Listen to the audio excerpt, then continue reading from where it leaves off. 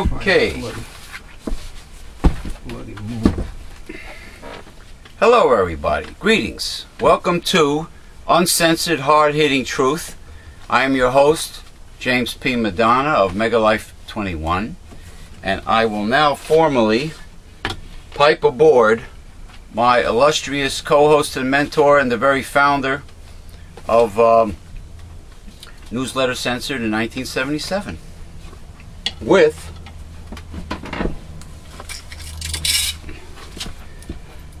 my authentic bosun's whistle.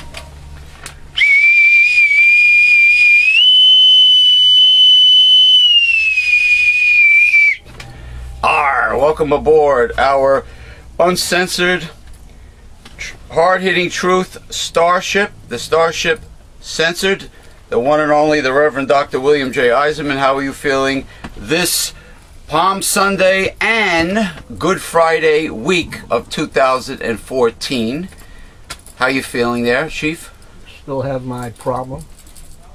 Oh, that you were telling me Wednesday. When My we- digestion. when we had our weekly uh, business meeting on every Wednesday afternoon. Uh, it is now, um, let's see, it is now uh, April the 12. 12th, April the 12th, 2014, Saturday, April the 12th, in the early afternoon. And the weather's beautiful. Spring is finally here. Spring has finally sprung it. Sprung it? Sprunged. Sprung it. Is this the week of the pagan uh, uh, holiday? Yeah, well, they're all pagan.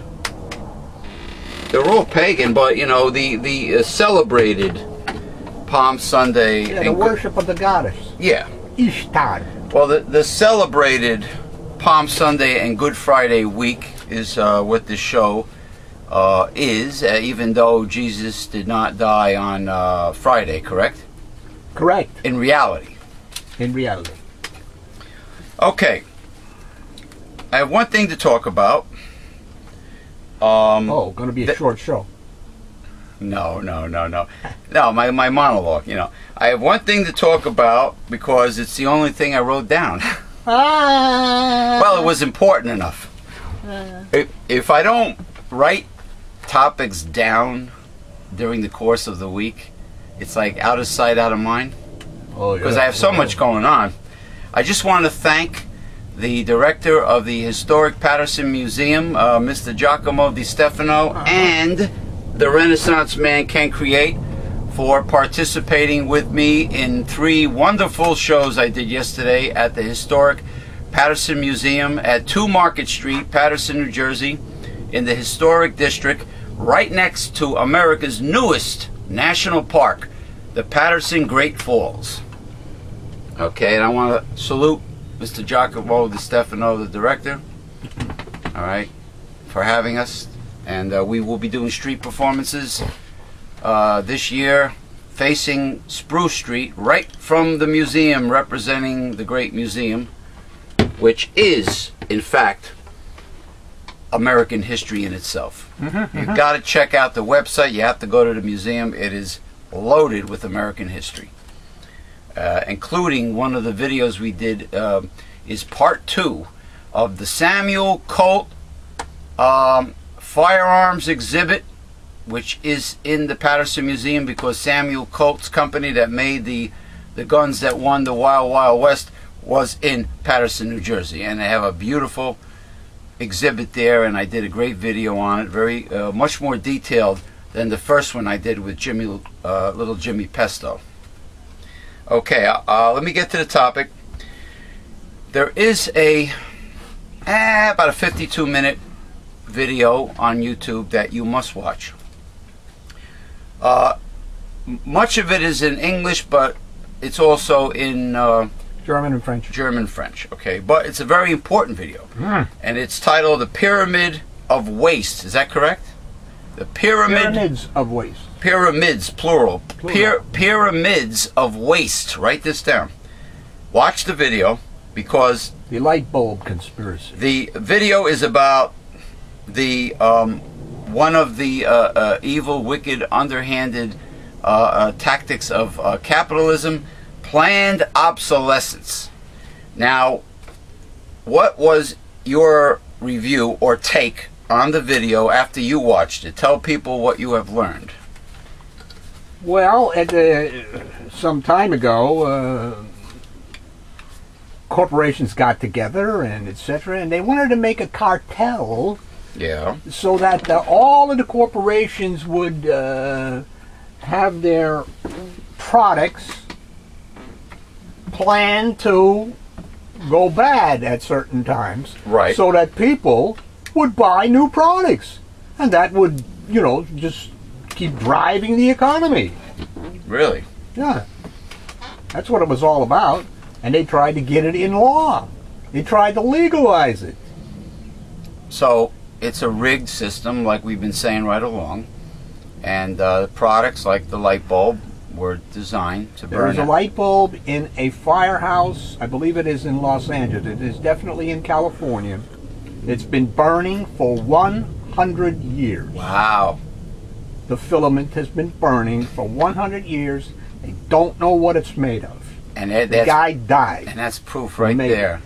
That's proof right there, including the in, the first electric vehicle back in the 1920s. Sometime is both proof that that um, not only uh, that the electric car has been uh, all the bugs and problems had to have been removed from the electric vehicle decades ago. Uh, not only that, but the fact that light bulbs can last. Yeah, well, the light bulb companies. This proof, 100 years. The light bulb companies got together and uh, it has been determined that the light bulb should only last 1,000 hours. Because they make it so. They make it so. Now, according to uh, what I've read and seen and etc., LEDs today can last 25 years. Oh, oh, definitely. So- LEDs are are are replacing the uh, compact fluorescent bulbs. Well, yeah, but I'm talking about longevity. Longevity, Yeah. and, and, and they use less electricity than the compact fluorescent bulbs, too. They run cooler.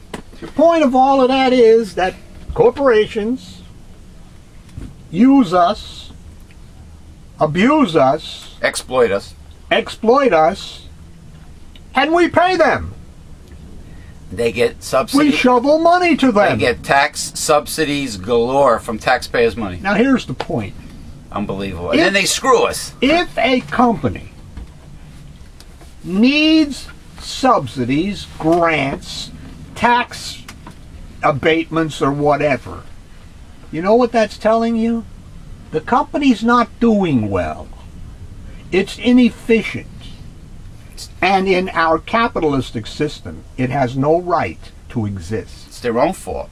That's, the way the crab cake crumbles in capitalism. Some You die, someone else comes along and takes your place. somebody loses, and uh, for every winner, there's a bunch of losers. Creative destruction. And and yeah, it's like it's part of competition, which is of Satan anyway. But it's part of competition in capitalism that that there's a certain percentage of businesses that fail statistically, and uh, for whatever reason, whatever reason, they fail. Uh, not all of them are run by stupid people. Not all of them um, are, you know. Um, well, usually people that uh, are successful monetarily usually get that big through ill-gotten gains in the capitalist system. What does the Bible say? He who Makes haste to be rich is not innocent. shall not be innocent. That's correct. And uh, as uh, as the nail sticketh between two stones, so does sin sticketh to buying and selling. Exactly. Now does From that the beginning. now Fox News does that sound like God is a, is a conservative Republican? As I put on Facebook last more night, there's more Bible quotes that somebody was saying something Yeah. about the politics and etc. And they're trying to make the case that, uh, you know, like Democrats are a little better. The point is, as Wilhelm Reich said, all politics is pathological. So forget about parties and stuff of that nature. parties means means big bucks, campaign contributions, Yeah. and that means corruption.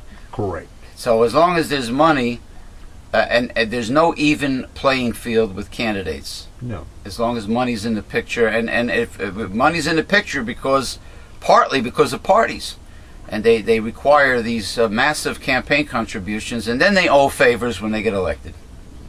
Exactly. So that's what the problem is. All politics is pathological. So forget about politics. The system has to be changed. Mm-hmm. You know. Yeah, Yeah, absolutely. The system's got to be changed, and uh, people have to get behind independence and not parties. And if if corporations and people who support them and etc. Uh, uh, uh, uh, praise the capitalistic system, then I got news for you, pal. Live by it. And if you can't support yourself without subsidies and grants and tax abatements and etc., die Right. and let some new company Yeah. take over. Well, they, they, they don't care if the poor die. oh, you see Mr. Paul Ryan's new budget, don't you? Oh, Pinocchio number one. Oh, Paul. Ryan and what is it? Uh, uh, Ted Cruz. Needle, the two needle nose, uh, the two And Pinoc- Rand Paul. the Pinocchio twins. One thing about Rand Paul, he's taking up the, uh, he's attacking Dick Cheney The man for the Iraq War. the man with the mechanical heart, the tin, the Tin Woodsman in the Wizard of Oz that was looking for a heart, and uh, It's like what you call it, uh, Iron Man. Iron Man, except Iron Man uh, has a little bit more morals, Iron even Man. though he is kind of gruff and. Yeah, he's You know. got. He had a nuclear powered heart, I believe. That Well, was at first it installed was by a. Ru- that was installed by a Russian scientist. Yeah, at first it was done by battery. He had a battery Yeah. in the for Iron Man one or whatever it was. Yeah. Then he got a better one. Yeah. Now Dick Cheney, uh, is it or is it not true that when Dick Cheney announced the uh, the uh, soon-to-be invasion of Iraq, uh, all the GOP uh, big shots got up and clapped, standing They ovation. loved it. They loved it. They love it. war profiteering. More money for Halliburton. More money for the private contractors, etc., etc., etc. Yeah. And more money for the Pentagon to lose. Right. You know, it's like, uh, and you know, and CEOs, which are the real demons, they, they always blame it on the stockholders. Oh, we have to do right by the stockholders, Shareholders. shareholders, and like I like I always said, shares of what? Common stocks, right? What are common stocks? Okay, they're investments in companies, uh, small, medium, or large, but they're speculative. They're Not only that, speculative, Not only that, the big boys not a now, Ponzi scheme. The big boys and girls now, they have an advantage over you with their speedy computers. They know what you are going to do, and they do theirs before you. I'm sure the stock. Well, the, the man on 60 Minutes recently, he blew the whistle on the stock exchange. Uh-huh. He said it's rigged. Exactly. The stock exchange. It's a Exactly. it's a game. It's a game for the elitists. Exactly. And Yeah. every once in a while, you have a breakdown, and and the poor jerk with a 401k or whatever, get a pension or something, he loses money. Yeah. Okay? Oh yeah. That's The, your stock market. the little guy with the Keogh or 401k. Okay, with the nest egg that he socks away ends up Uh-huh. losing, and the big fat cats end up winning every time. Uh-huh. you know uh, you know um, but uh, I, I apologize for the idiots outside uh, making uh uh, talking about stupid everyday things interrupting the show but anyway uh, getting back to planned obsolescence it's it's uh, to me it's a it's a dishonest way to make a living. I mean, it's to is to rig something to burn out. I mean, appliances burn out early now. Vacuum cleaners, uh, um, Printers. uh, uh, fans, uh, printers. Oh, especially, and it and, and and the inkjet costs more than the damn printer. So The so it, it, yeah. you buy a new printer, you get a new inkjet. It doesn't pay to to to get a printer. And then when you try to get the inkjet refilled at a Walgreens or Staples, they say, "Oh, we don't. We're not geared to refill the new inkjet cartridges. We don't have the equipment to refill them." Oh, really? Mm-hmm. Yeah, they don't have the equipment to do that. And uh, what other things burn out? Um, uh, uh, any appliance, any appliance, even air conditioners. Nobody repairs a toaster today. before you know it, the compressor's shot. You Ah! can't you can't get a new compressor because putting a new compressor costs more than the air conditioner. Uh-huh. The toasters burn out. Um, yeah, in general, many many appliances burn out rel- relatively early compared to the older appliances. You know, and uh, it's rigged. It's dishonest. It's it's it's it's. Uh, I I think it. Uh, stop me if I'm wrong. Isn't it part of the deregulation of companies by the Republicans? Well, you could regulate them to make better products. by Reagan, uh, uh, who did that. You know. Well, to make better products, what about making the products um, have a normal uh, Well, what is a uh, normal? usage life? what is a normal? Normal is what, that. normal is when you is- normal is when you don't rig it to, to burn out early. Yeah, but you have to prove that. Number one. The point is that you let the companies do what they want, and therein lies the problem. Well, you're Regulation is needed. Yes, Needed. See? you know, and and of course all the nincompoop numbskulls out there that uh, vote according to their cultist, phony religion. I'm talking about the Bible Belt states, the Western states, the Midwestern states that uh, call, Yeah. call themselves red states that vote against their best interests. They vote Republican, who are for the rich. These people don't have a pot to piss in, but oh no, they have to vote Republican because why? Because of their cult. Well, they're going to be celebrating a lot this week, aren't they, with their cult? Oh yeah. Huh? pagan pagan Easter, right? This is their second big uh, uh, uh, uh, uh, pagan holiday. Christmas and now Ishtar. Ishtar. Yeah. Yeah. Uh, um, whatever happened to the original Christian holidays of the Bible? They're in there. They're in there, but nobody Yeah. talks about them No. commercially. You know. No. Uh, Certainly not the general public. They don't know. yeah. Oh, you were saying something to me off the air about uh, the three wise men. Oh, I saw a um, uh, video last night on Facebook.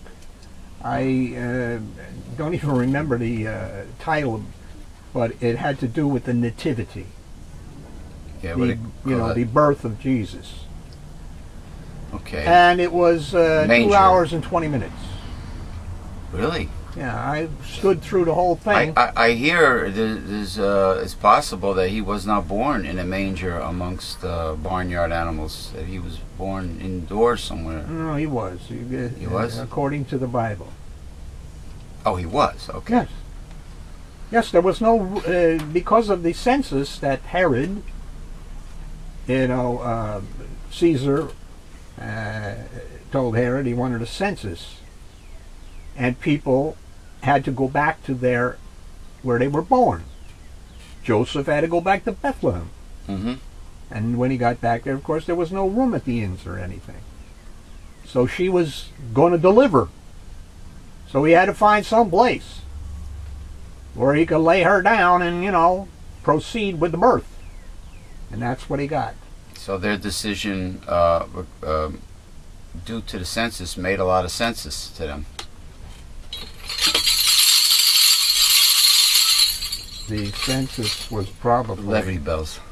probably uh, a way of, you know, taxing, finding out who to tax. Yeah, they had taxes back And- then too. as far as Herod was concerned, it would help him because he was he was also uh, uptight about the fact that this child was going to be born a king, A threat to him. a threat to his reign. Now, who exactly were the three wise men? You were telling me. Melchior, Caspar, and uh, Balthazar. Wow. They were like scientists. They're like They- al- alchemists and astrologers. You mean? Yeah, uh, astronomy, and that's why they saw this star. You know, Venus and Jupiter and et cetera, et cetera, and they were going to align, and and, and and and and they followed this star. You know, they were in the desert and and, and Yeah. traveling for like over 104 days. So That's so, some trip, man. So uh, they weren't scorned for knowing astrology and astronomy. God didn't punish them for doing that. Like today, the right-wing fundamentalists will tell you, "Oh, you you do you dabble in astrology. Oh, you're going to hell." Well, you, ain't going to hell because there ain't no such place. You know, I saw that banner uh, yesterday that I posted it with a picture of Joel Osteen with his big saccharine sweet, smoke, phony smile, and it says um, something about uh, if your evangelist is richer than the than the people in the congr- congregation, if your pastor is wealthy, much wealthier than you are, then you helping, like you're helping him Yeah, a lot more than than he's helping you. He's not helping you. You are actually helping him. You're a socialist. Yeah. Yeah. Well, not only that, if you look back, let's just take that uh, the situation with Mary and Joseph uh, back then. They, they they had to go through some some trials and tribulations and etc. Mhm. to uh, come to the end of uh, you know the birth process and etc. But old Mr. Joel Osteen, I mean, God helps him get parking spaces in the in the parking And it lot. helps The him best. and it helps him get wealthier than he already is. yeah, That's why he's smiling all the time. yeah. Ain't that something? Yeah. It was so quiet before. And every time we start the show, this friggin' dog starts barking and these idiots start talking outside. But anyway, Hey, shit happens. You know? You're damn right it happens. Well, uh, we have the door open because uh, it's lovely outside. 77 degrees. And uh, you know the the screen door is partially open, so that I don't have to let the cats in and out. But if the noise continues, I will have to shut the door. But uh, but anyway, let us sink our teeth into these readings. Quiet. Like that's gonna help, right? Mm-hmm. That draws more attention. Mark your calendars, Yeah. Sky Watchers. Ah, I think I know where this is going. In one week, a total lunar eclipse will turn the moon an eerie shade of red. Blood on the moon. The infamous blood on the moon is coming. At 1:58 a.m. on April the 15th. You're 15th, going to the moon, Alice. Tuesday, You're going to the moon, Alice. Tuesday, Bang, zoom. the full lunar eclipse, when all the moon is shaded by the earth, begins just over an hour later at 3:07 a.m. and lasts until 4:25 a.m. Eastern Daylight Time. You hear that, amateur astronomers? You know, polish up that lens. Get your telescopes ready. And uh, I'm sure there'll be much better photos with the, uh, you know, the uh, the big telescopes, you know, and uh, the space telescope. The eclipse will be visible across almost the entire continental United States, most of Canada, and Central America and parts of South America. The coming red moon, often called a blood moon, It's a bad omen. is a perfectly natural occurrence. How often does it come, though?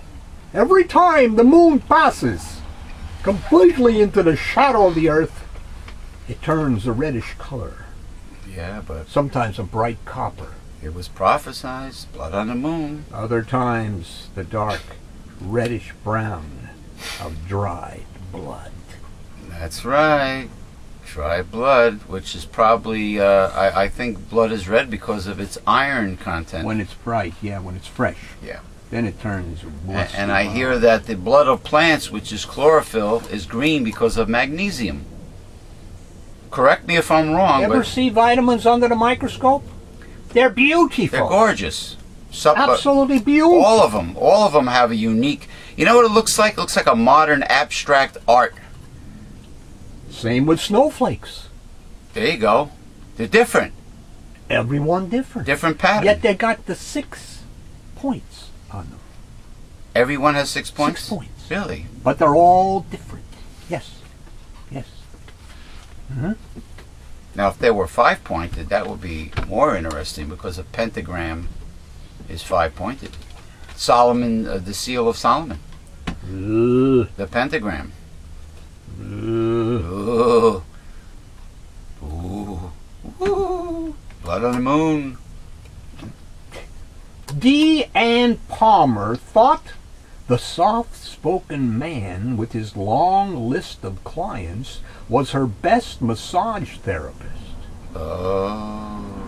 Instead, she fears he may destroy her business. Why is that? Felipe D. Cruz may also leave Palmer forever questioning her own judgment in people. Cruz, who worked as an independent contractor at Palmer's D2 Day Spa in Englewood, New Jersey. Not far from here. Day spa. I always wondered. I guess that means it's open during the day, right? For about 10 months. That makes it classy. That makes it sound legit. I run a day spa. was indicted this week on charges of sexually assaulting women. So if if a female masseuse gi- uh, attempts to give a happy ending to a male, he goes he leaves with a smile on his face and he goes around bragging to everybody that the the massage therapy included a little extra. But if a woman gets a happy beginning or happy ending or whatever, she freaks out. See, you see how life and society has all these double standards when it comes to men and women? It, it can do a whole show on it. Palmer said she let Cruz go immediately after he was arrested in November Wow. when a woman said he inappropriately fondled her. Since then, five other women have come forward to report unwanted sexual contact. As soon as he was arrested, I told him not to come back, Palmer said. It was such a shock. He had impeccable credentials. He had insurance. But I'm just devastated knowing that a woman devastated. who came to my place of business was assaulted. Oh, like he. Wow. A day spa is really a legitimate therapeutic place. You know, when you hear the word day spa, don't expect anything else unless it's, you know, it's run by, uh, Cruz, well, I don't want to get into it. 52 years old, Right. was indicted on 14 counts, including sexual assault yeah. by digital penetration. Digital? That means he stuck his fingers in. Oh, digits. Digital, I was wondering. not computer. I thought it was something that a, an accountant does when he has sex. Digital, digital penetration. Oh man! And 11 counts of criminal sexual contact Wow. On incidents dating back to March of 2013. And the doctors of the of the 19th century used to uh, uh, have a little apparatus that they administered masturbation to the women to release to cure hysteria. I think Yes. release their tension. Yeah. So, releasing the woman's tension as part of a, uh, a business transaction, a therapeutic uh, uh, treatment, is real, is bad, is taboo, Well, but not to a not to a man, I guess. The women did not want it. well, What the- are you going to do away with their right I guess to be unassaulted? you know what? You know what? See, this guy's very he's very liberal. This uh, Reverend Dr. William J. Eisenman. liberal. let me tell you something. Uh, when you think about it, sexual harassment on, in a workplace does not have to necessarily mean it's harassment. If a man asks a woman out, or if a man uh, tells a little a little risque joke, the woman could blow the whistle and complain about it because it's unwanted. Because maybe the man's not her type, or maybe she's not interested, or whatever she could turn around and, and take a little thing like asking her out on a date and, and scream A harassment. little thing like sticking his fingers where they don't belong. That's harass. That that can be. Oh. That's harassment. No, I'm talking about. I'm talking. Well, ab- we're not reading about I'm that. talking about uh, how the law, like how a, a woman can get away with screaming harassment. It, it could be something minor, and she can scream harassment, or it can actually be harassment. Why can't a, a man can do that too? What if he has a harassing boss? Oh, you mean like what if Then the, he can do what it. if the what if the guy, let's say, has a girlfriend or he has a wife, and his female boss uh, a little uh, black black tries to blackmail him and say you want to keep your job, so on and so forth. That's harassment, sure. Uh-huh, That's definitely harassment. You know. It is unclear where the other alleged assaults took place. Palmer said Cruz worked in other spas and also had his own business. It is also unclear where Cruz lived. Cruz obtained his license from the State Division of Consumer Affairs in 2012 and has had no disciplinary actions against him. On Friday, a spokesman for the department said the New Jersey Board of Massage and Bodywork Therapy will contact the Bergen County Prosecutor's Office for additional information for its use in considering possible disciplinary action. Mm-hmm. According to jail records, excuse me, Cruz was released on $75,000 bail after his first arrest. Oh come on, seventy-five grand. He was arrested again several days later after other women contacted law enforcement to say they had also been assaulted. What about just uh, suspending his, his license for a He while? is being held at the Bergen County Jail. Okay. Okay. Customers at the spa fill out surveys after their massages, and Cruz always received excellent reviews. Yeah. He was very quiet, into Eastern philosophies. He massaged men and women, and no, no one ever complained to me about him. no guy, no dude is gonna massage me. No friggin' way. He seemed like a great therapist. Mm-hmm. Her business has taken a big hit from Cruz's departure. Oh yeah. He had about a hundred clients, Wow. but only about ten returned after he left. oh really? And new clients Wow. who heard about the arrest have canceled their appointment. Only ten people out of a hundred return Mhm, were mhm. return, repeat customers. Re- repeat, You want to get a check at the dude? Hey, you want to see the dude? repeat clientele.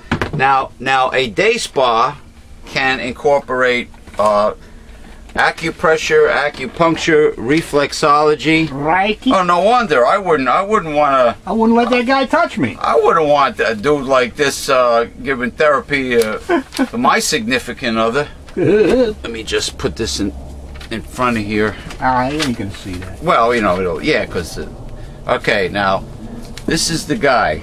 Let me know if it's in view. Hold on. Uh, a little, just a bit closer. That's all. All right. Higher, That's- lower? That's the base. It's right on. It's it's okay. It's is it even? It's okay. You got it? You Yeah. see this guy's mug? Would you let your uh, significant other g- uh, receive uh, uh, uh, uh, body contact therapy from him?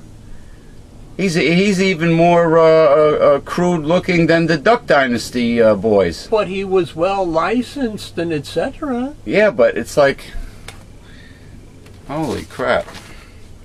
You know. Oh my God. I mean, aren't we Here. supposed to respect uh, uh, uh, uh, titles and? Yeah, but you got you got you have to look professional when you're a professional. You can't look like a like you're part of a motorcycle gang, Uh, you know. But anyway, um, there are s- more. There's more than one therapy that's uh, provided at a day spa. There's a whole bunch of them. You know, they use hot stones. mud bath. There's the mud, there's the reflexology, uh, acupressure, Swedish massage, acupuncture. Uh, there's uh, aromatherapy, which I don't know. You just smell something that you love. Could be anything. Could be spaghetti sauce. it could be. Uh, it could be. I Uh, don't think they have bottled the could- essence of spaghetti sauce. It could be uh, particular herbs and spices, you know. Uh, it, it has different effects on the body, and then there's uh, there's an oxygen. Bar. That, yeah, you Yeah. it- like when you're in a hospital and they put the the the soft rubber tube in your in your nostrils and you're breathing in 100% pure oxygen. That has an energizing effect. Then there's a, a hyperbaric oxygen therapy, which is supposed to rejuvenate brain cells that have been It didn't damaged. rejuvenate Michael. Uh, uh, uh, uh, whatchamacallits? Michael J. Fox, No, no, no. The singer, Michael Michael Jackson. Jackson. What do you mean? What do you mean? He was a dope addict. He did hyperbaric. Well, if you if you keep on if you keep on abusing drugs, Yeah. you got it when when you Your get brain ain't too good, no matter how many hyperbarics you get. if you're doing um, positive, healthy, holistic things in your life that are supposed to be uh, constructive and helpful to you, you don't keep the bad habits that screwed you up in the first place. It's like a it's like a diabetic or a hypoglycemic uh, taking, let's say, a diabetic ta- takes uh, supplementation and takes uh, maybe medication from the doctor and continues to eat the wrong diet, continues to eat sugar and refined carbs. You, you cannot, you got to work with it. You got to work with therapies, not against them. You know? This is Dear Abby. Oh, what, what, what are we doing? Light stuff at the beginning? Yes. Okay. My wife and I were discussing our sons in law and young men in their 20s and 30s in general. Oh God, they're always women are always analyzing us. We were wondering where the attitude of any money I earn is mine Well, in a marriage or live in situation got started. well, what guys tell me is their their significant others uh, uh, feel that, uh, that like the wife's money is hers and the husband's money is theirs, but the husband's money is never just his, and he has to always negotiate and and talk over any spending of any kind with her, but but she by by a sheer fact that you know uh, she's she's a, a female is automatically the boss and automatically calls the shots. But who do you blame? Like like my friend told me. Well, who do you blame? You- the the sucker or the sucky, or the the suck? You know, it's the it's the it's the the person who puts up with it. You have to blame. For the first few years of my daughter and her husband Joe's marriage, Joe resented giving her any of the money he earned. Money should be should not be involved in love and, and romance and relationships. You should. I don't know. It causes trouble. My other daughter's husband thinks nothing of spending money on himself and his friends without consulting her. But women spend money on themselves all the time. We have seen this attitude reflected in their friends as well. They don't seem to discuss with each other how each is spending their joint income. Well, if it's joined, uh, then you have to consult one another. That's a different story. there seems to be an element of selfishness. You mean joint account? Is that what we're talking about? Yeah. Then you then uh, yeah then I have to be fair. You, you, You heard to- the guy yeah. up at front where at the beginning of the thing you said, Any money I earn is mine. And He's not talking about Well, a joint account. then why doesn't he simply have a separate account for Why does he get married? why why does a joint why is a joint account mandatory if you're married? It's two people. It's optional. It They be- are to become one when they are married. Well, then you have fights about about the man wants to buy something, the woman wants to buy something, you know. Then you end up with these fights over money, which causes trouble in, in a relationship. Well, what if it's a joint account? Well, joint accounts are, joint accounts are not are not forced by law. They're optional. You you you decide to have a joint checking account.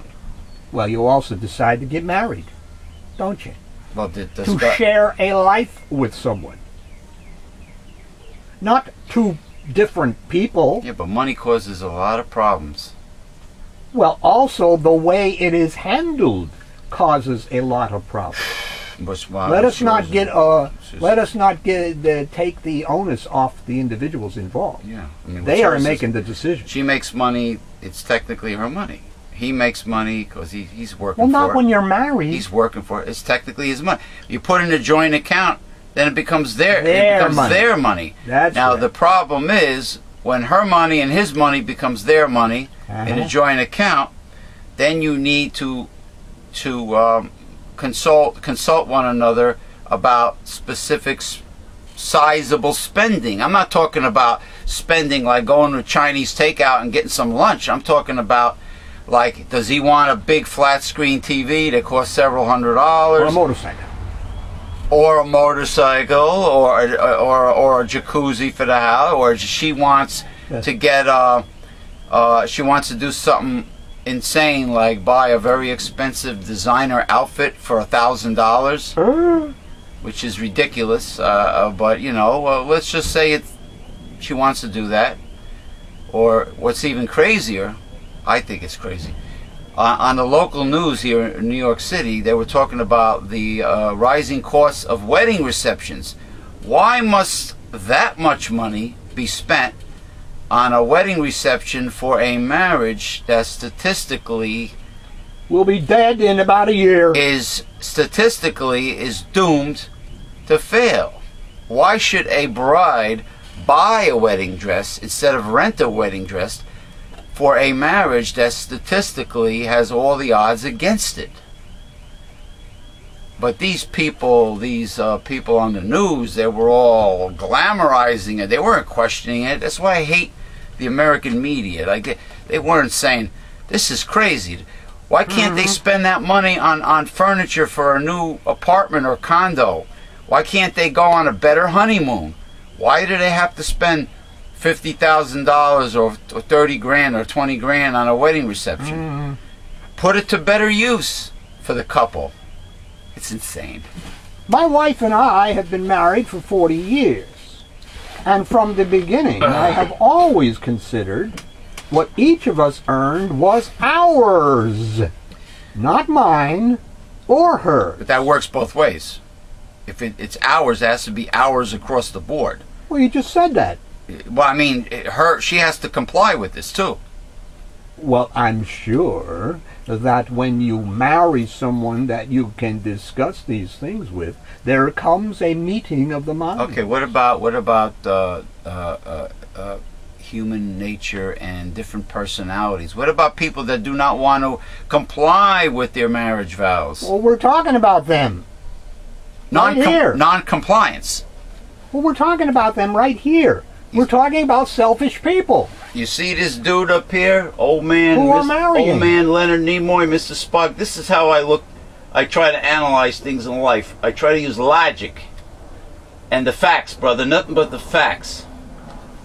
We Consi- always discuss any significant purchases. Right. And I have always believed it was my responsibility to support my family.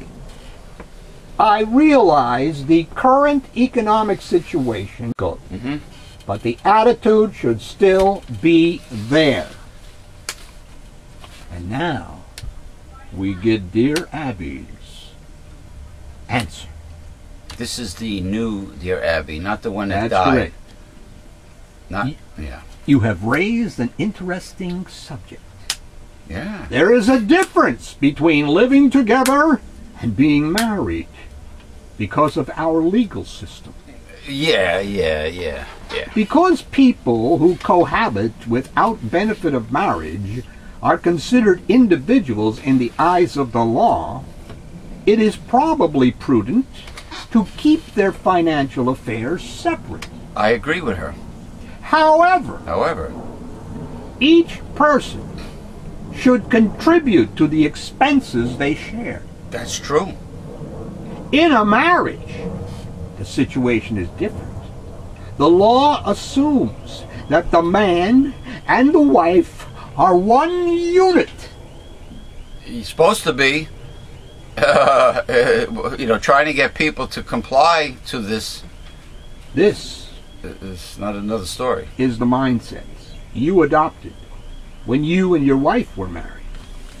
There is a tendency among young couples, not only because of the high divorce rate, but also what they have been exposed to in the media from the time they were born, to view marriage as something that might not last. Everything is disposable in the American society. Pets, uh, everything. Everything is, uh, you know, it's just horrible. You know, it's like uh, nobody sticks it out and, and commits themselves, dedicates himself devotion to anything. What was that movie, Braveheart? Yeah. With Mel Gibson? Yeah. What if, what if those people never stood with him? Then he would have gave up. Well, He he would- have never gave up, but he maybe he would he would have lost. Then he lost the battle anyway. He but, lost it know, anyway. Yeah. But they, but he put up a good fight though. yeah, and and the people stuck together. What about the people in Valley Forge? That with Washington. Ah, they were freezing their freaking asses off. Right. With Washington, what if they just said, "Hey, we're going home"? You know, I said, you know what? Let's remain a colony. I, I'm getting frostbite out here. I'm going home. I got no shoes. Goodbye, Georgie Porgy. Yeah, exactly. we don't have any of that. Go back to Mount Vernon, New York. A lot of commitment today, I'll tell you the truth, is to drugs. Man, you're right You know? about that. I mean, they, there, there are people who commit to their death. I mean, when you when you The see the behavior of younger generation people that are supposed to like uh, take over the world, that Yeah, be smarter than us. when we're in a nursing home, and you see how they they never say thank you if you if you do something nice for them or hold the door for them, and they and they they they they feel very entitled to everything. They're very entitled, Mm. and uh, and they just think it, that every everything's has to just fall in their lap because they're entitled. You know what I mean? So and and there's no loyalty.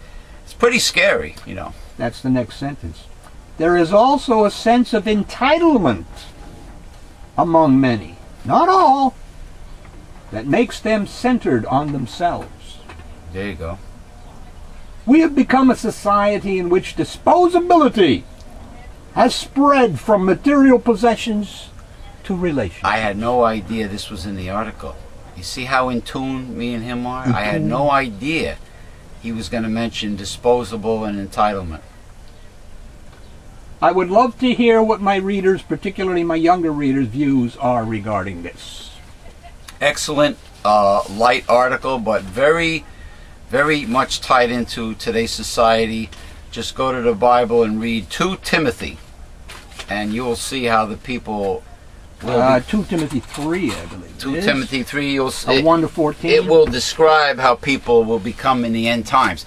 We're going to take a, a lunch break because it's time for the Reverend Dr. William J. Eisenman's gastronomic delight known as lunch, followed by our promo commercial, and then we will return to this show. And this is the um, uh, the good. Uh, I'm sorry. This is the Palm Sunday and Good Friday 2014 week show.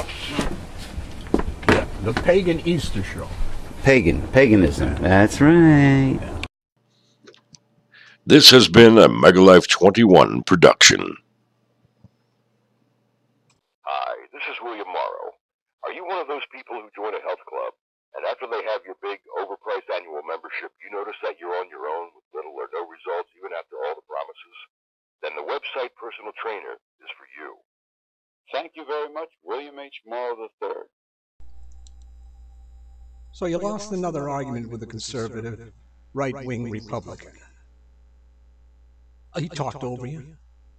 He screamed and yelled. He brought out the Bible. He thumped it. He quoted scripture to you. You were lost because you came at him with facts. Nothing but facts. And you expected that that would, uh, that would make you look good. That would make you win the argument, but it didn't. You know why you lost the argument? You know why you're going to lose your next argument? Because you don't read censored. Censored, 30-year-old newsletter that shows you how to defeat a conservative. Read censored, and you'll have all the ammunition you need. Every time you get into an argument with a right-wing conservative, uh, so-called Christian. Censored. That's all you need. Read it and defeat a conservative. Greetings, listeners. Let me speak to you for a moment about the foundation of our entire organization, Newsletter Censored. It was founded by our mentor, the Reverend Dr. William J. Eisenman, in 1977. It discusses the five taboos of American life politics, religion, health, human sexuality, and child rearing. You won't find anything like this in the mainstream media and the press. It reveals the kind of truth that most people are afraid to hear. Can you handle it? We are living in the end times, so in order to defeat a conservative and save America, you need Newsletter Censored. Go to www.newslettercensored.com, click on the printable order form page, and with your gift to support this work, get your free annual subscription. This is James P. Madonna of Megalife 21, the hardest hitting internet talk radio station on the planet. Hi, this is William Morrow. Are you one of those people who join a health club, and after they have your big, overpriced annual membership, you notice that you're on your own with little or no results even after all the promises? Then the website personal trainer is for you. Thank you very much, William H. Morrow III. So you lost another argument with a conservative, right-wing Republican. He talked over you. He screamed and yelled. He brought out the Bible. He thumped it. He quoted scripture to you. You were lost because you came at him with facts. Nothing but facts. And you expected that that would, uh, that would make you look good. That would make you win the argument, but it didn't. You know why you lost the argument? You know why you're going to lose your next argument? Because you don't read censored. Censored, 30-year-old newsletter that shows you how to defeat a conservative. Read censored, and you'll have all the ammunition you need. Every time you get into an argument with a right-wing conservative, uh, so-called Christian. Censored. That's all you need. Read it and defeat a conservative. Greetings, listeners. Let me speak to you for a moment about the foundation of our entire organization, Newsletter Censored. It was founded by our mentor, the Reverend Dr. William J. Eisenman, in 1977. It discusses the five taboos of American life politics, religion, health, human sexuality, and child rearing. You won't find anything like this in the mainstream media and the press. It reveals the kind of truth that most people are afraid to hear. Can you handle it?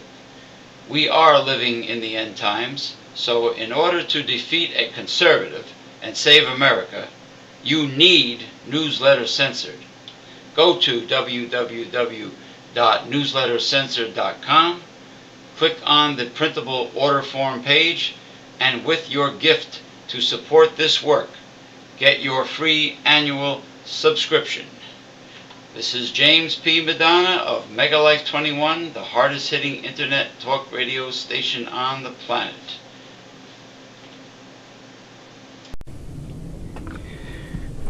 Okay, we're back.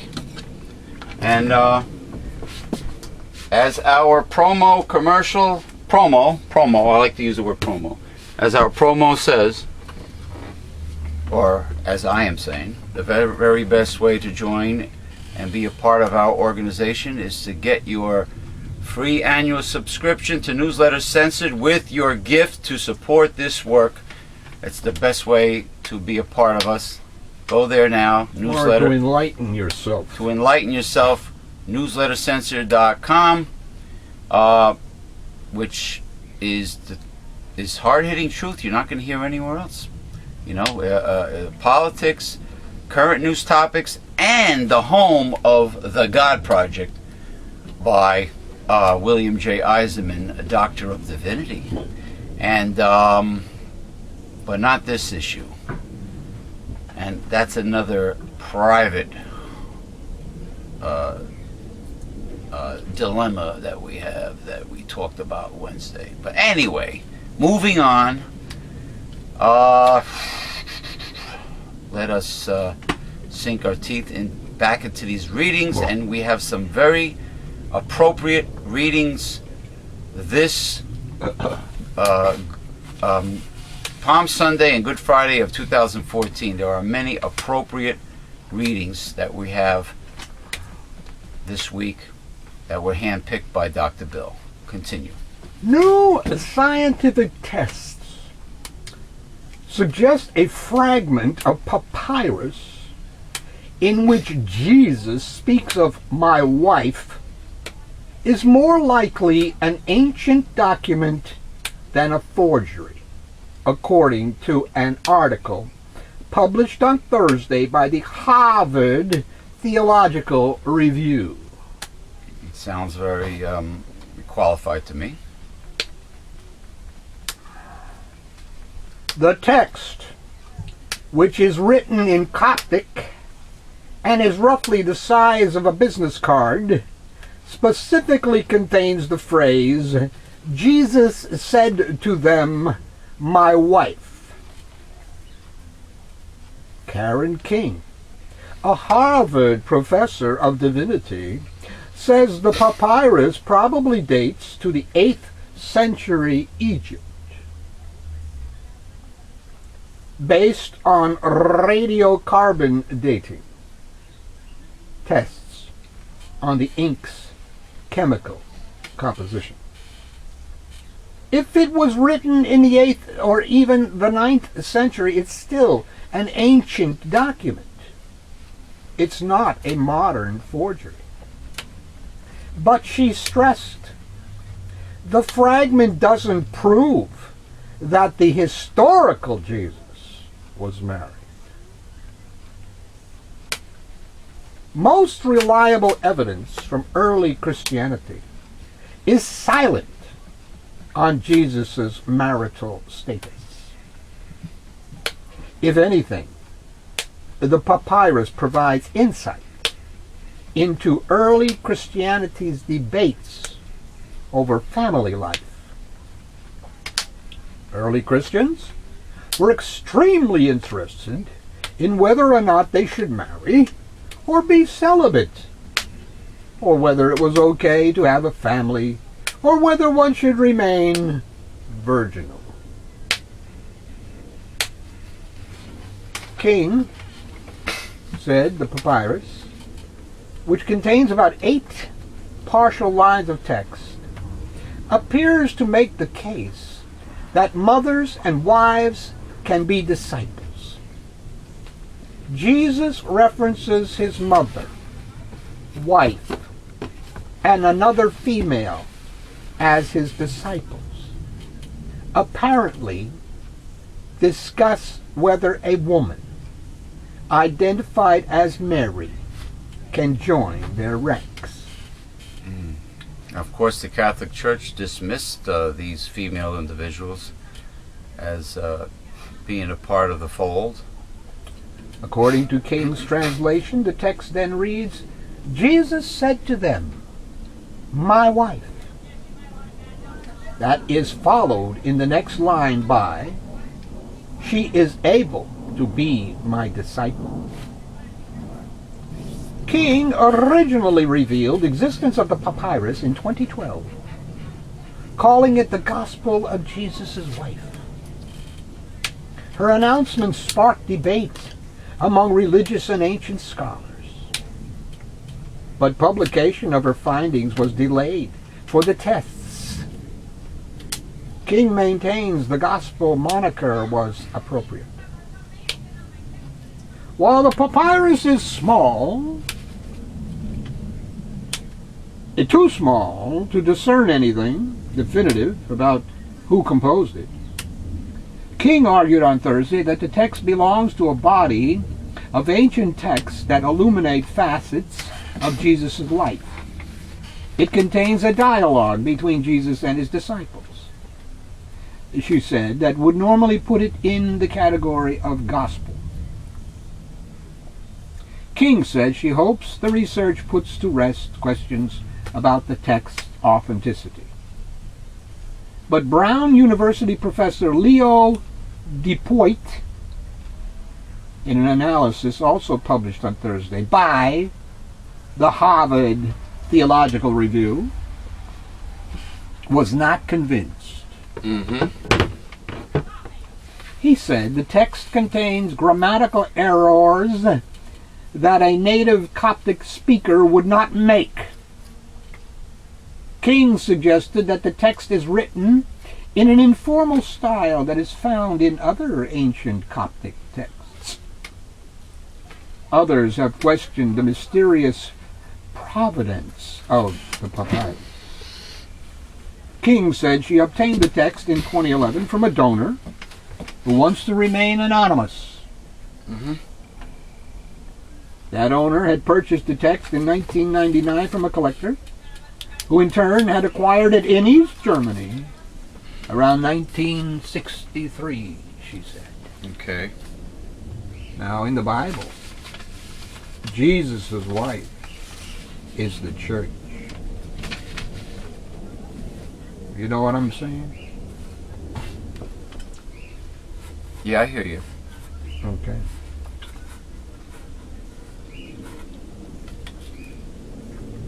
Eighth century. That's 800 years after he died. Quite a long time. Quite a long time. It's almost a thousand. Well, 800 years later it was written. Right? Right. It's from the 8th century. And when he used um, the word the bride, He didn't use the word bride. He said my wife. my wife, but I mean in other contexts of the Bible, he was referring to the uh, the church, the body. Oh, yes, when Church. Jesus did. But the point of it is, there are a lot of Jesuses throughout history. You read Josephus, you'll see. There's no there's no evidence that this is talking about, like it said in the article, the historical Jesus. Mm-hmm. No evidence to that. And then again, 800 years after he was walking the earth. Right. Republicans Mm-hmm. blocked a Senate bill on Wednesday aimed at narrowing the pay gap between men and women. Lovely. An election year ritual that Democrats hope will help s- spur women to back them in this fall's congressional elections. GOP lawmakers said the measure could hinder employers from granting raises or permitting flexible hours in exchange for lower pay. Oh, the poor employers! Mm-hmm. We have to feel sorry for the poor employers. Oh, I feel my heart bleeds for them. Where the people that that can that write off the cost of labor. Yeah. Yeah, I really feel sorry for them. for fear of costly lawsuits For Democrats, the bill was the latest stressing income and fairness that they are pushing this campaign season. A procession that includes proposals to extend jobless benefits, boost the minimum wage, help students and families afford college loans. Republicans in Congress continue to oppose serious efforts to create jobs, grow the economy, and level the playing field for working families, President Obama said after the vote. Mhm. Why, I thought the GOP were job producers, were interested in creating jobs. Not in the U.S. Maybe in Ah, mainland China or Bangladesh. I see. We see. The Ultimate Warrior Poor guy. I got to do a. Uh, one of the most colorful stars in pro wrestling history, has died. let me uh, do a quick moment of silence for the uh, the, the uh, untimely, uh, shocking, sudden uh, death of the uh, professional wrestling legend, legend, legendary, the Ultimate Warrior. After I just listened to his speech at the WWE Hall of Fame induction, his induction speech, which contained a very mysterious, a strange, cryptic, prophetic um, words that people noticed was a little odd in his speech, almost like it was a farewell speech. But anyway, a moment of silence for the Ultimate Warrior.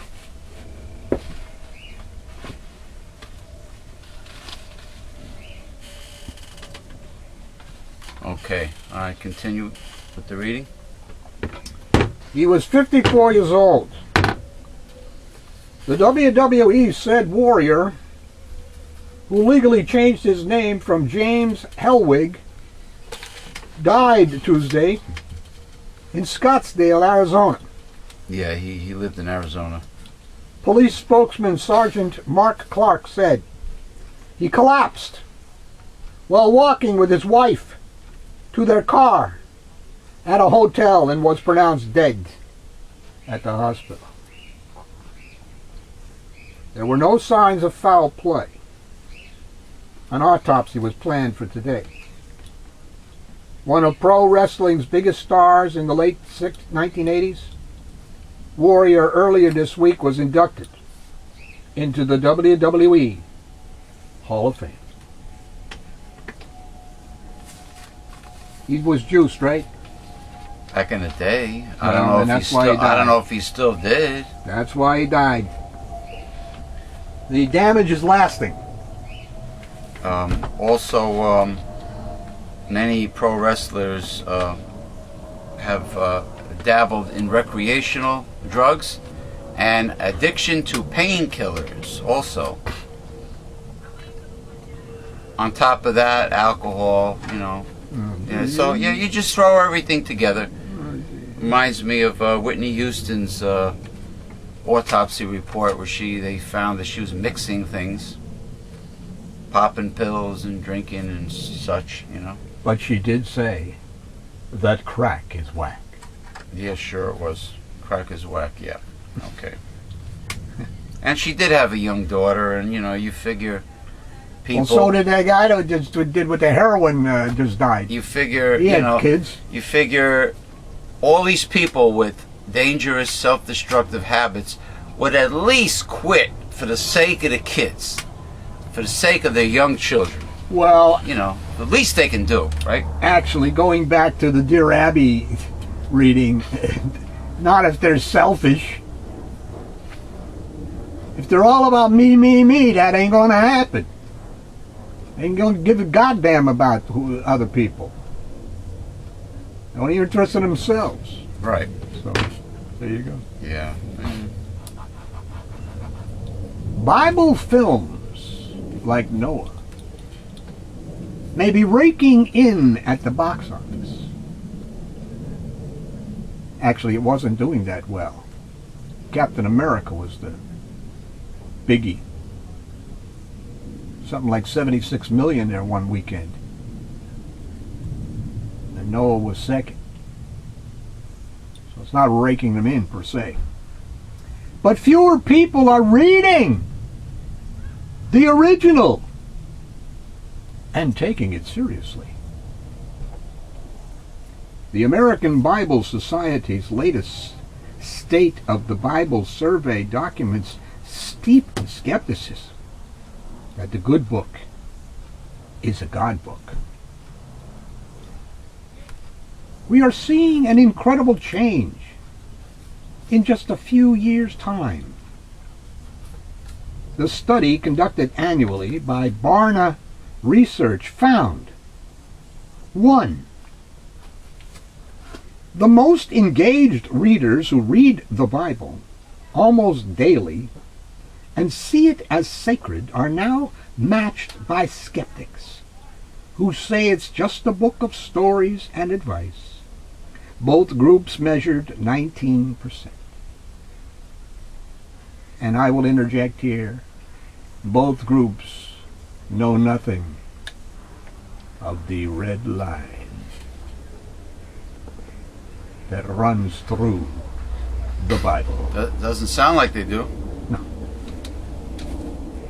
Number two, while the engaged stay steady since 2011, skeptics grew by 10% since the same survey was conducted in 2011. Number three,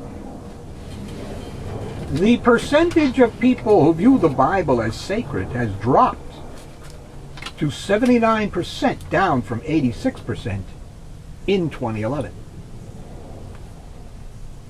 The study is based on 2,036 interviews with U.S. adults in January and February. Mm-hmm. The statistics are sobering, but not discouraging. The key is adjusting our outreach to reel in the next generation. Millennials ages 18 to 29 lead the skeptics tally. And I shall interject that is one of the problems. Mm-hmm. These proselytizers and evangelicals, they want to reel the people in. Yeah. And that is a problem. Because that's not what the Bible advises, not what Jesus advised. Mm-hmm. Okay? Number four. 64% say the Bible is sacred literature compared with 79% of all adults. Okay. Number five. 35% say the Bible offers everything a person needs to know to lead a meaningful life compared with half of all adults. Well, yeah. Six. 39% of millennials admit they never read the Bible. Well, they see how big it is, and uh, you know, modern people are lazy when it comes to reading books. compared with 26% of all that. Then why are they beginning to read online, I guess it's it's, e- it's where it is even harder to read? not really if you use a concordance. I'm not talking about that. I'm talking about reading. Well, you lower the uh, you low you you adjust the brightness and the contrast of your computer monitor so it's not glaring. I, I know what you're talking about. The glare can be very straining on the eyeballs. And yet you'll see, like for instance, PC World magazine has gone digital. Now, what does I that? have not read a, P, a PC uh, magazine for four months I think it's easier to. Uh, because it is online. I think it's easier to have the PC World magazine on your table in front of you. Be honest. with Bingo. It's it's Bingo. really less straining on the eyes. I mean, really, the the the the glare of a computer monitor is much harder on the eyes than than reading the old-fashioned way. Even the Kindle had to go to a white paper mode to be a little easier to read. Kindle White, I believe it's called. I think they're just doing it so to, to lower their costs. No kidding. Uh, the, you know, But does that have anything to do with you as the consumer, the customer? No, they don't. Not at all. They don't do the right thing by the consumer. Of course not. You are supposed to get in line with what they do. and therein lies our uh, Chiseler's Hall of Shame induction for this week, which is which are magazines that have given up their paper magazines for digital online magazines. And I think what what gave them this idea, uh, Dr. Bill, were the e-books. Exactly. The e-books were the first to start that. And they're doing it just to save money, not to do what's best for their consumers. That's correct. Chiseler's Hall of Shame. PC World is wonderful. We Induction. have- yes, we have to find where they are hurting. What questions millennials are asking. The society has already started that by creating Bible watching, excuse me, Bible reading journeys on its website.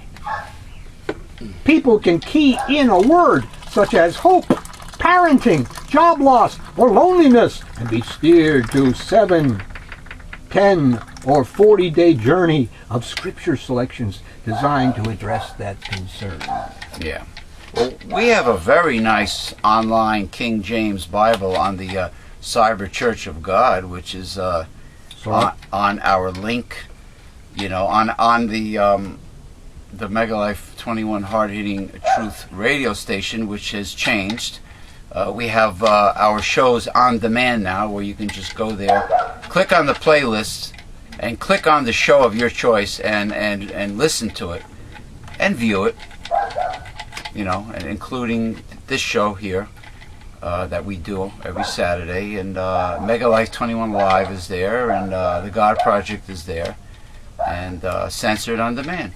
So you know, just go there and help yourself. the data confirm we just can't hand them a Bible and expect them to find the answers. We have to get out the word to give God's word a chance. It's it's it's urgent. It's urgent. Like like like that dog shutting up soon is urgent to me. I think it's outside now.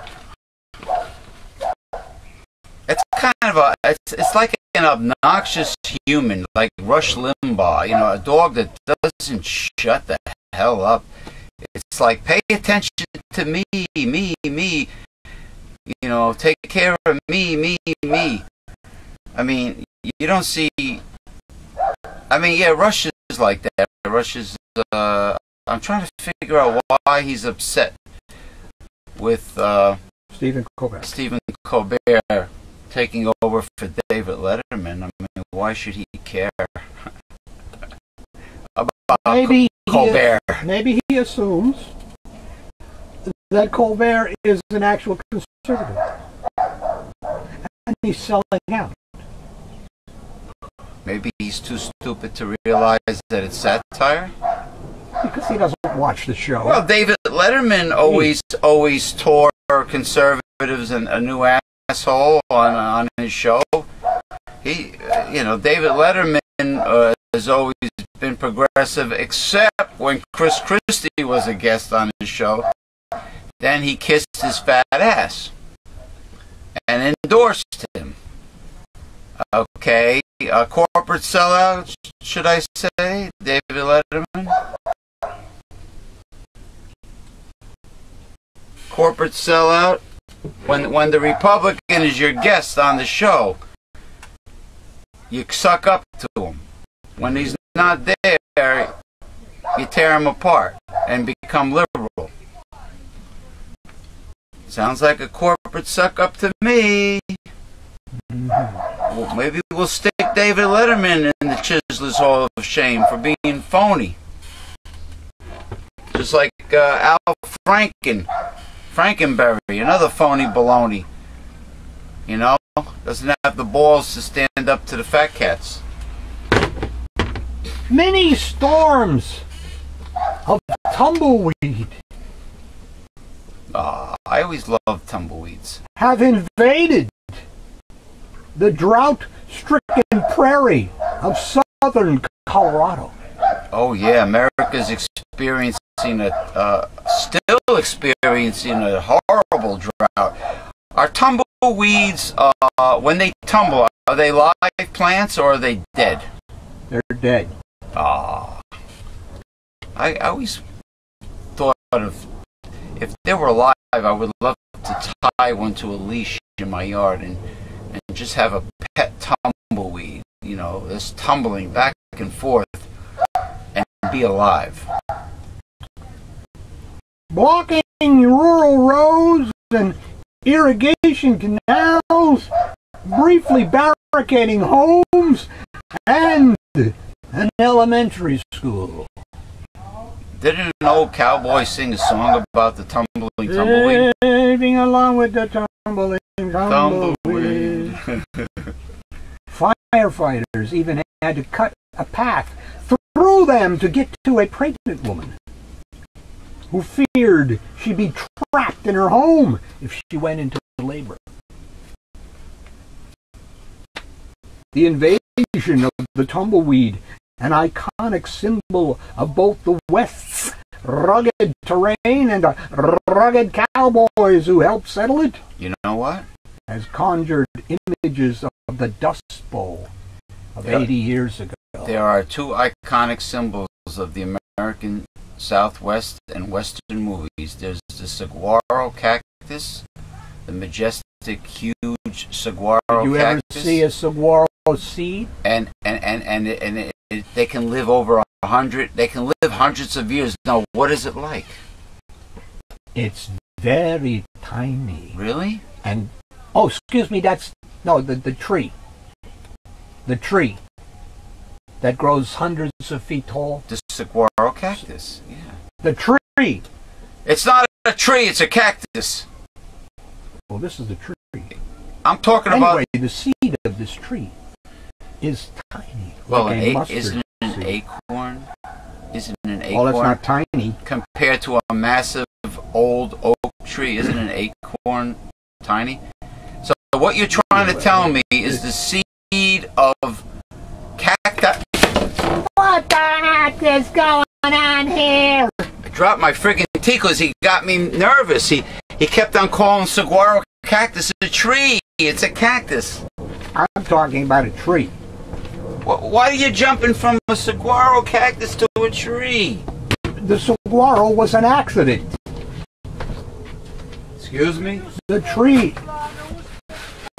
that I'm talking about Yeah. Grows to hundreds of feet Right. tall. Use a use paper here, hey, What? under there, Where am I going? under the table here. Under this table? Yeah, over here by me. There should be paper. Oh, you mean newspaper? Yeah. Oh. All right. Actually, that is a smart idea. No, don't, don't cling with it. Oh, how am I gonna how am I gonna Let stop it it up? Get up. Put the paper. I'm trying to soak it up. All right, it's done. It's done. Don't let it disturb the show, for Christ's sakes. Continue. Explain. Now, I- now I got to edit this this piece. Give me more work. It never ends. Yeah, you're right. It never said ends. Said Chris Talbot as he used a snow shovel to push the weeds off his lawn How could a saguaro be a goddamn tree? into a stack on the street in Colorado Springs. We're not talking about saguaros. I was Saguaro was an accident put into that sentence. We're talking about a gigantic tree that comes from a tiny seed. Okay. That looks like a mustard seed. I It was. si- doesn't look like a mustard seed. I just compared both. it's tiny. mustard seed And this Well, heaven forbid I should mention the two iconic images of the American Southwest, which happened to be the tumbleweed and the saguaro cactus. the latest drought, which began in 2010, has created tumbleweed Fucking- trouble in parts of New Mexico, Pissing me off. Oklahoma, Yeah. and Texas. How does the tumbleweed start when it's alive? Desiccated Russian thistle, a woody leafy plant, and kochia, both invasive weeds from Eurasia, are the culprits.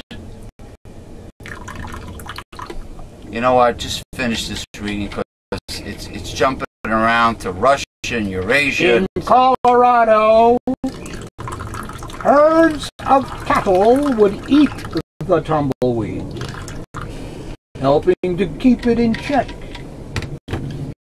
But many ranchers in recent years have reduced or gotten rid of their animals because of the drought. Yeah.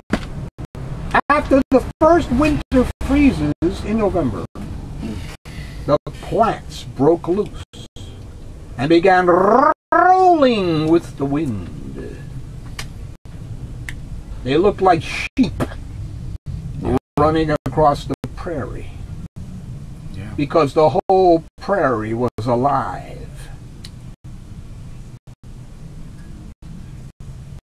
For municipal authorities, there's a big price tag for that tumbleweed.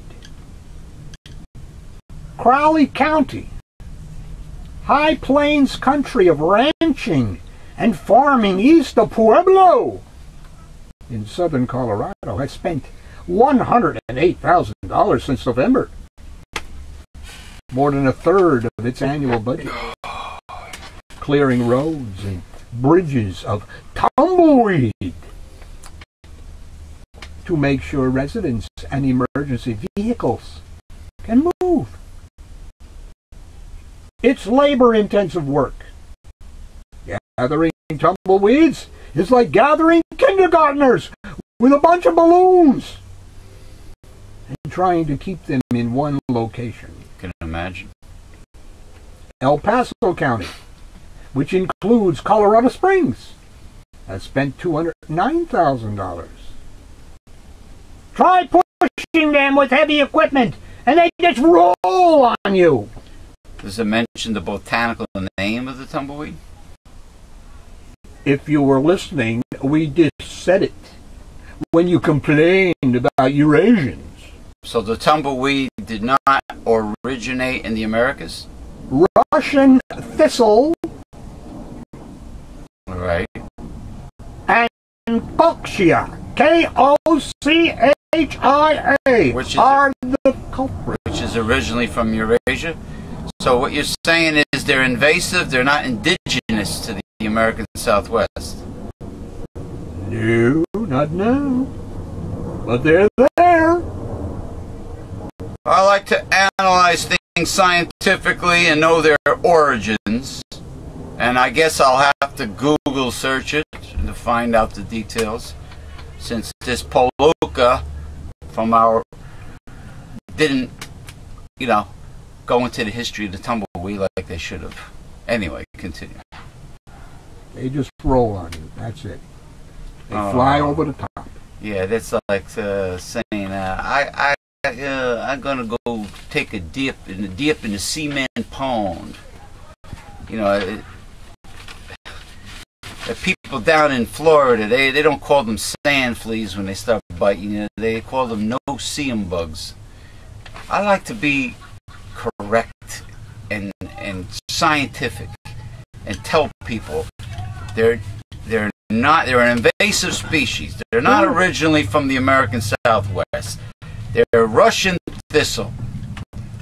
You know, they just go over that fact. And, anyway, there's a, the drought is causing problems, big time with crops and uh, Almonds from California. not just California, across across the uh, Americas. I mean, um, it, it um, it might not end anytime soon. I hear it might go for a century. Who knows? Even Gary No mentioned it's it, it, it, it may not be over anytime soon. Don't hold your breath. This drought. Well, and with the old frackers coming around using up the water and polluting it, hey, there won't be any left. But maybe Mr. Nestle can take the water that he owns, by the way, it's his water, maybe he can filter it and make it potable. Well, a very uh, For the rest wise, of us a very pay for it, of a- course. A, very wise Native American chief stated that uh, if the earth dies, so will man die. So, gee, what good is having? Uh, what good is hoarding billions and billions of dollars if your planet is dying? We go back to the Abby, Dear Abby article. Selfish. stupid and selfish. Uh, short-term thinking, uh, cutting your nose off to spite your face, penny wise and pound foolish, so on and so on. The United States Supreme Court Oh boy. has put a crushing blow on clean elections. The McCutcheon decision is not only a major setback for open government, but it is undoing decades of campaign finance law by removing limits on campaign contributions. It means elections can go to the highest bidder. Campaigns are already too much awash with special interest money.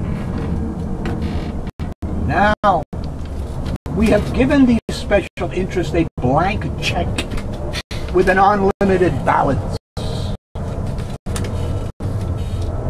This makes the Citizens United decision even worse.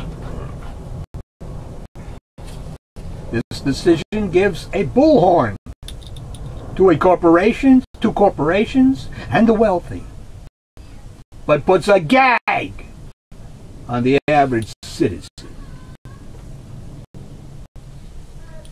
It is this dirty money from special interests that undermines our government and election process. We can never have clean air, clean water, without clean government. The only thing green in Congress or the legislature is the money from corporate polluters. This decision will allow more dirty money for dirty deals that will hurt the environment and people of this country.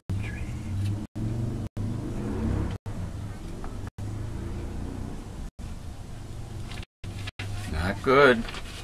And you can thank the uh, the right wing Supreme Court justices for that. Yeah. Like old jolly face Antonin Scalia. yeah. El Duce.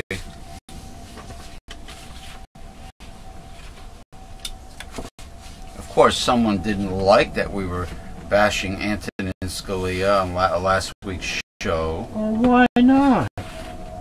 What's- What's with these suck-ups that are they're not even rich? Why do they suck up to a political party that only helps the rich?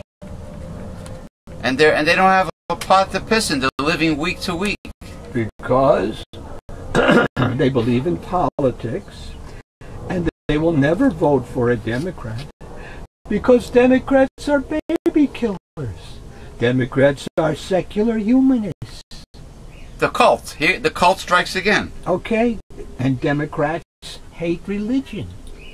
Don't we have a, a, a, an attack on religion every Christ Mass? Yep.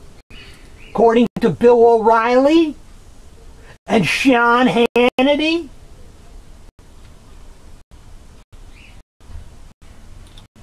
Yeah. Well, so wh- those people in those states, uh, etc., will never vote for a Democrat. and and also the the the blonde bombshells, uh, the witches of Fox News, the conservative coven of witches on Fox News that all happen to have blonde hair, and the stupid things they say. Michele Bachmann has been in the um, in the news saying some idiotic stuff. Well, she always says idiotic stuff, whether she's in the news or not, Yeah, she's, because she happens to be an idiot. Uh, my apologies to retarded people that would come under the idiot.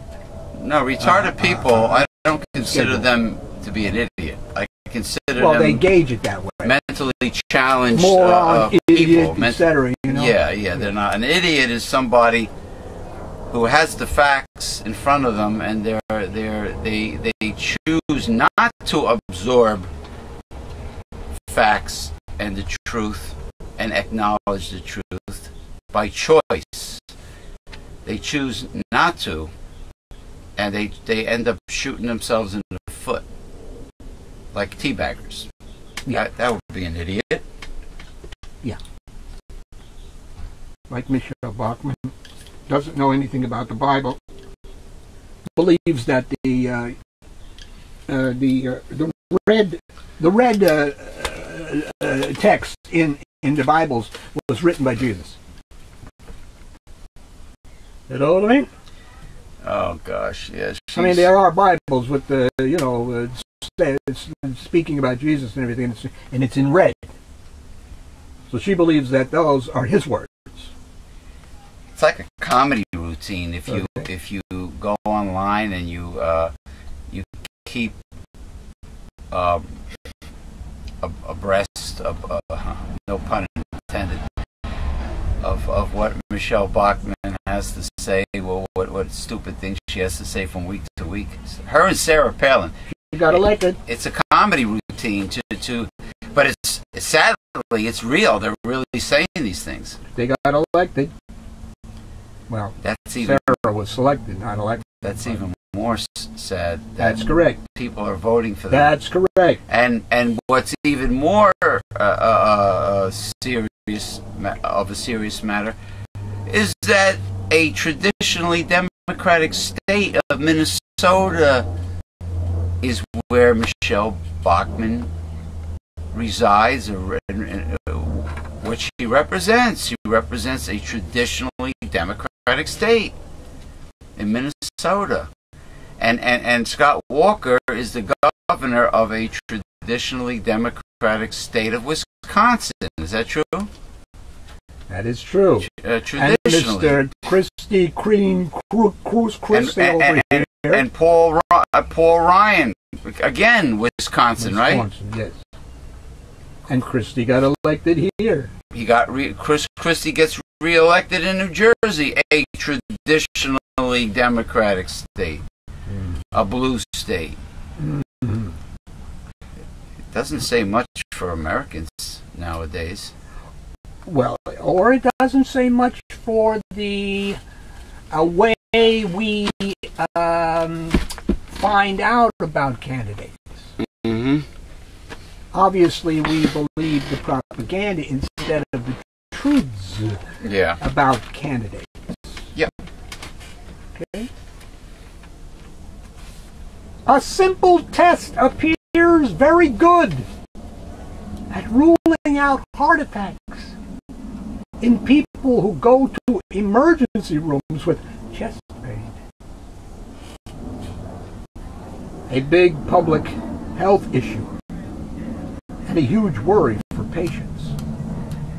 A large study in Sweden found that the blood test plus the usual electrocardiogram of the heartbeat and accurate at showing which patients could safely be sent home rather than be admitted for observation and more diagnostics. Now, if you get an echocardiogram and a stress test on top of that, that's considered a Who the complete- hell's going to give somebody a stress test when they went to the emergency room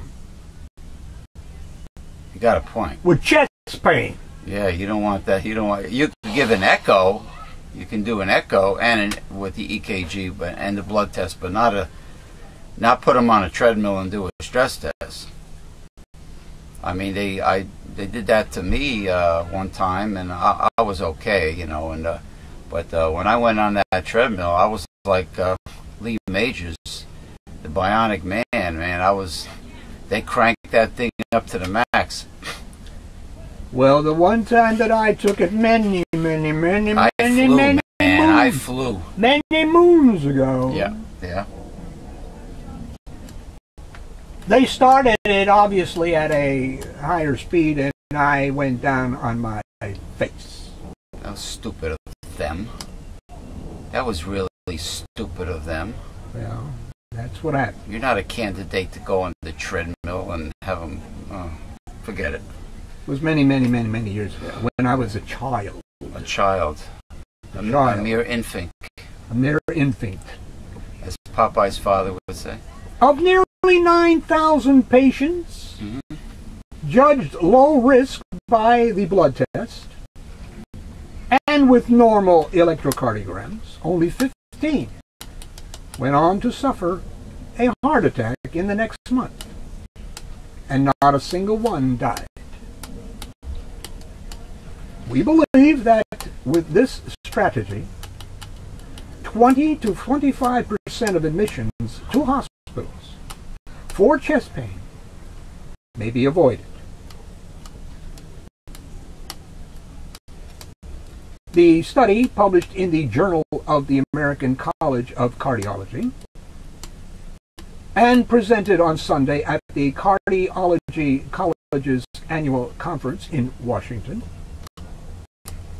chest pain sends more than 15 million people to emergency rooms in the United States and Europe every year. Usually turns out that to be due to anxiety, indigestion, or other less serious things than a heart attack. People may feel reassured by being admitted to a hospital so doctors can keep an eye on them. But that raises the risk of picking up an infection and having expensive care they'll have to pay a share of, plus unnecessary tests. The study included nearly 15,000 people who went to the Caroli- Karolinska University Hospital with chest pains over two years. About 8,900 had low scores on a faster, more sensitive blood test for troponin.